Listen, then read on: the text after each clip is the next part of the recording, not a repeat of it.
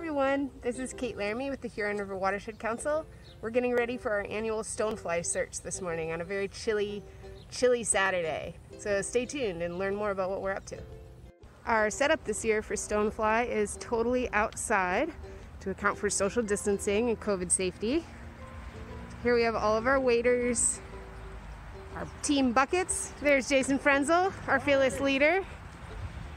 Jason is our stewardship coordinator. He wrangles our volunteers.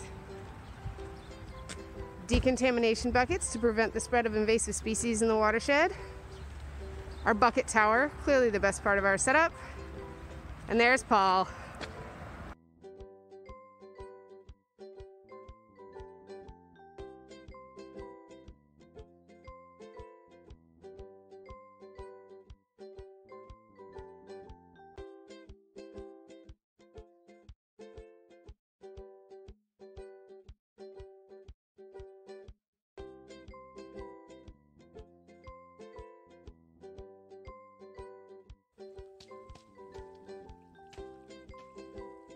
So we're using a what's called a D-net to take our samples. This allows the net to be scraped along the bottom, rocks, other hard surfaces that our stoneflies might want to cling to.